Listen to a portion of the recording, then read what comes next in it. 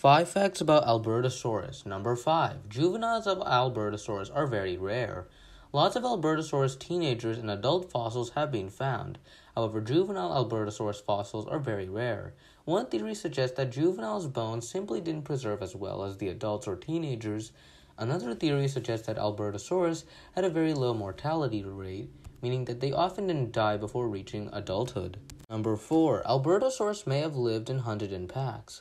Although we are not sure if Albertosaurus was a social animal, some smaller theropods have social behavior. Because of this, it is possible that Albertosaurus did hunt in packs. Number 3. Albertosaurus grew the fastest during its teenage years.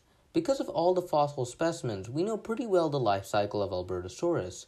We know that Albertosaurus experienced growth spurts in the middle teen years, increasing in weight over 250 pounds per year. Number 2. Albertosaurus was smaller than half the weight of T. rex. Albertosaurus has a length of 30 feet compared to T. rex, which has a length of 40 feet. Despite this, Albertosaurus only weighed 1.3 to 2.5 tons, or 1.43 to 2.76 short tons, compared to T. rex, that weighed 7 to 8 tons, or 7.7 to 8.8 short tons.